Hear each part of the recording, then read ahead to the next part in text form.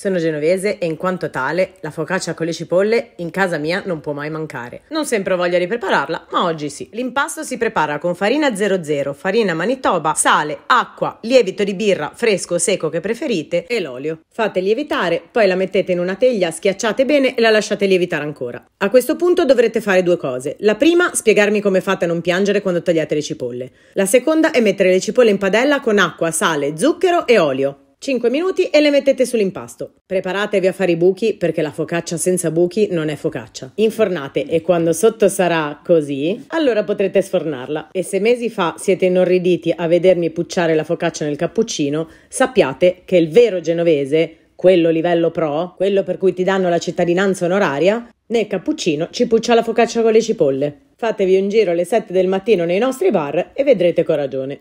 Comunque, se ancora non siete pronti, preparatevi lo stesso la focaccia con le cipolle perché è davvero buona. Faccio la foto e si può mangiare. Eh, devo fare la foto. Allacciate grembiule e provatela anche voi.